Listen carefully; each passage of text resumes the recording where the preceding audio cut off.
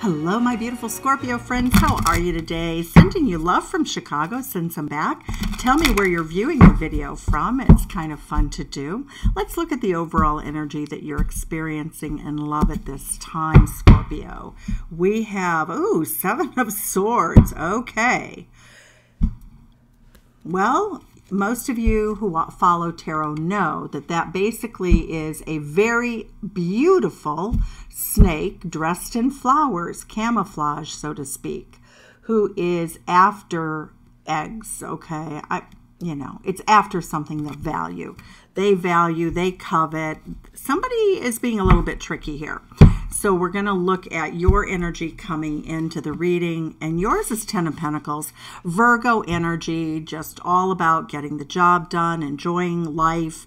You know, you're a legacy builder, Scorpio. And what this really says with the Virgo energy is that day to day, you're living a very abundant, happy life. You're very content. Um, but you want a relationship with your person that's very significant. You want possibly marriage or a marriage like relationship that's what you are looking for. The star card says that you are coming into this situation very healed, very happy, very serene. It's Aquarius energy, it's very enlightened. But the star card is hopes and dreams for love coming true.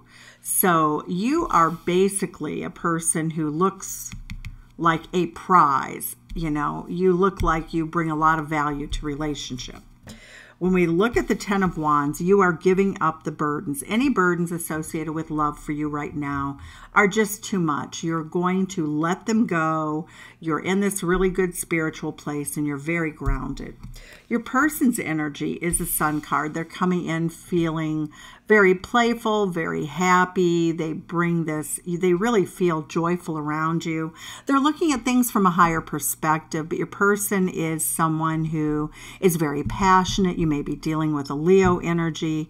This person represents happiness to everybody that they touch, everybody that with whom they speak. But when they're around you, they feel especially happy and joyful. We also see the Knight of Swords. This person's very outspoken. They're coming in, they have something to say to you. They want to clear the air. Um, the Knight of Swords energy, my experience of it in real life is that somebody comes in and says something shocking to you. Um, it is Gemini energy, so it is a communication. The king, or excuse me, I always call this a king. The emperor, this is a feminine emperor energy that's all about people and managing people and taking control. So there's something about the way they want to approach you that's going to reveal something that makes you very happy.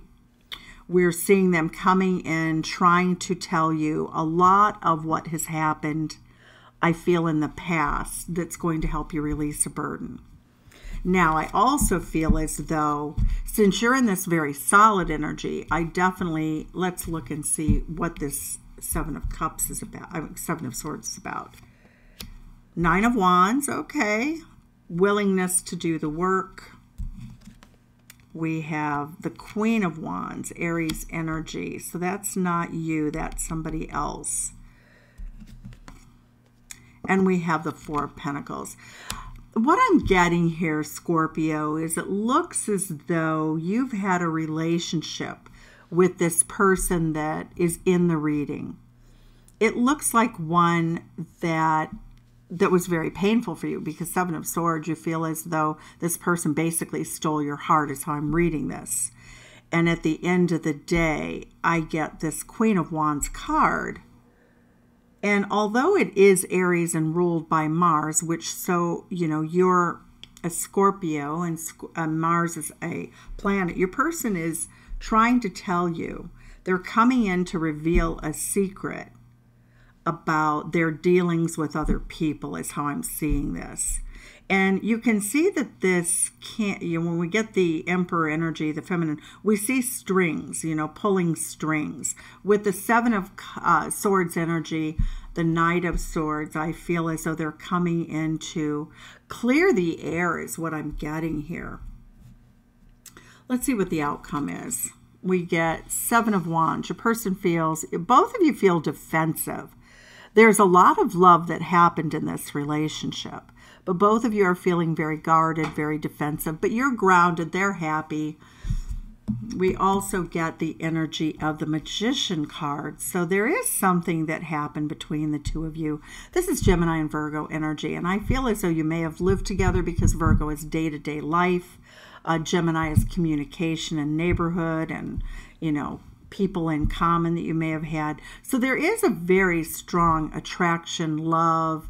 Um, there was a, a, chemistry, something about the two of you had a magical feel to it. And we, but we do get the King of Swords for outcome. And the King of Swords is looking at things from a higher perspective in which you have great clarity. So with the Knight of Swords, that becomes very interesting because something is definitely going to be said that helps you release a burden that you've been carrying, Scorpio. So let's go ahead and clarify the cards here for you. Let's see what we have. We have for you this, oops. I, well, I was looking at the Seven of Swords, so I'm going to put this down.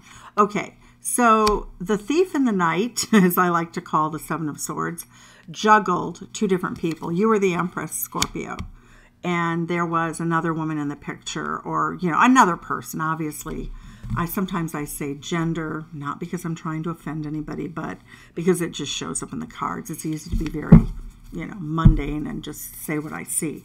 But what this energy is is that your person looks like they juggled you. Uh, and now and then they held back from you they never really told you the truth and i think that you figured it out so why do we have the ten of coins here we have the six of cups. So you have goodwill towards this person. This person appears to have left you in the cold. You feel that you your life is very stable with or without them. The temperance card you you really would like to clear the air with this person. It looks as though reconciling whatever happened, sort of like reconciling a checkbook, would feel very good to you, Scorpio. I like that energy. It's Sagittarius energy. The star card is clarified by the Four of Cups card. So the Four of Cups card is a love that you're in a much more pure energy now. I feel as though you've healed from the toxicity that was present in this relationship. You intuitively knew it because we see the moon there, so that's intuition. The Four of Cups looks as though your person was still communicating with somebody that they once had a relationship, or maybe even two people, because the two of you, you know, the Two of Cups is just two cups. It looks as though your person could have been communicating, texting, whatever. And to especially someone with whom they had a significant relationship. I feel as though your hopes were to have this Hierophant card.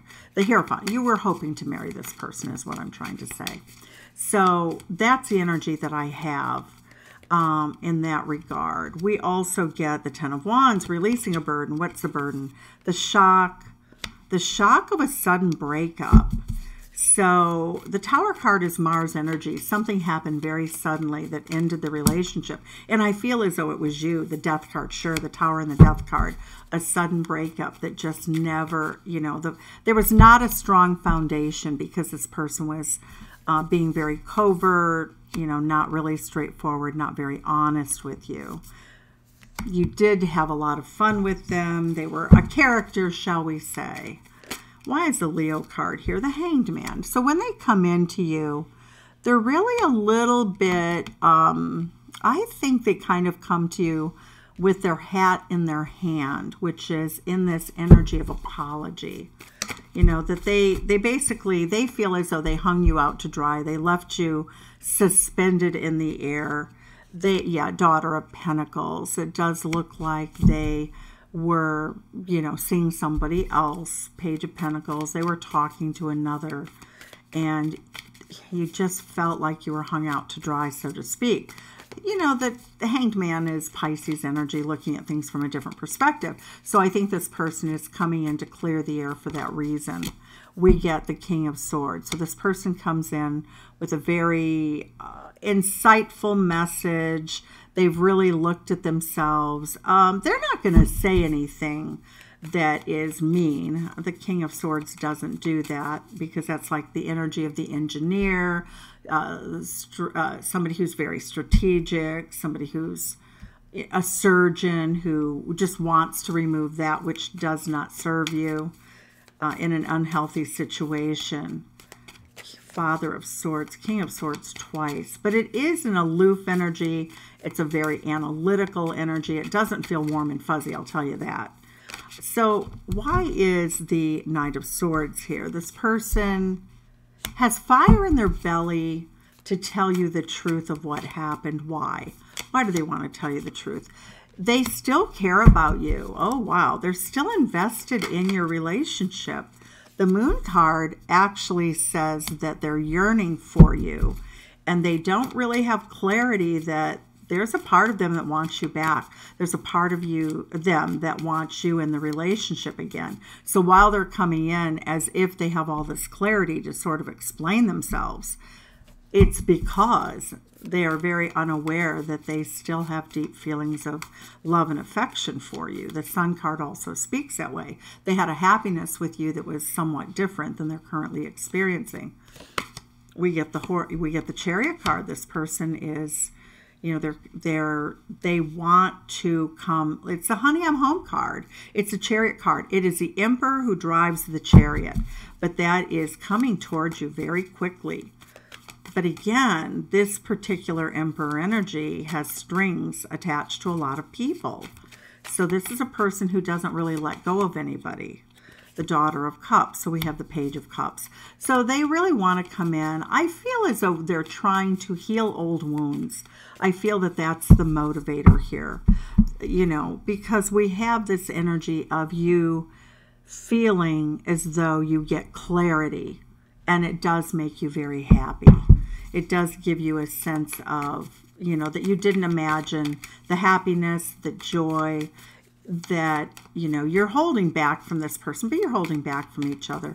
But let's see what that's about. Why are you still holding back from each other? I feel as though it's you scorpio giving up the burden letting the being at peace with the past the star card okay well both of you really thought you were both very attractive. You're both very attractive to other people but the star card is healing okay it is healing. And we have you here in this energy. So the Ten of Coins, legacy, nice. So what we're seeing here is that both of you really thought that you were going to marry. Both of you are in this energy of, you know, trying to clear up toxic energy that stood between the two of you. The Justice card is telling me that I believe that your person with the, yeah, the swords again, we have the page of swords. I feel like your person is really coming in to apologize. And I feel as though they want to clear the air, but I do think that there's still a hidden agenda. I think this person is coming in to say, well, let's get closure here. But I don't really think that that's actually what they want. I feel like your person is, you know, wanting to reinvigorate the magic and the chemistry between the two of you. Because the sun card, we have the sun card, they're coming in with this energy. And that is really, uh, they have the tools to woo you back, or so they think. I don't think they do. I don't think that you would go there again. But it does feel good. We have somebody coming, yeah, your person's going to come in with a romantic gesture, offer, even if they come in, quote unquote, to give closure to the situation. It's almost like they want to still sweep you off your feet, they want to kiss you, they still care about you. So you're getting this sort of closure, apology, clearing the air with a new, they want a romantic. Um, you know, evening with you, at, a, at the very minimum. And when we look at the Knight of Cups, he's making an offer of love that, you know, the next step is moving into the King energy. The Son of Pentacle, Page of Pentacles. So your person, they're very humble it looks like they've done a lot of healing themselves. Um, I feel as though they have a total understanding. They want to throw caution to the winds and make an offer. What is that about? The lover's card. See, I knew it. I knew it. Oh my God, I knew it. So they're giving you the option to be with them again. The lover's card is also the meaning of the of a choice.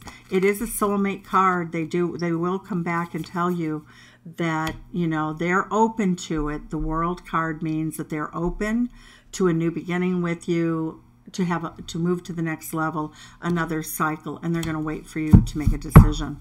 So, it rests with you, Scorpio. So I am broadcasting. I don't know if I said this earlier, but I am broadcasting from Chicago. Would love to know in the comments where you're from or where you're viewing from.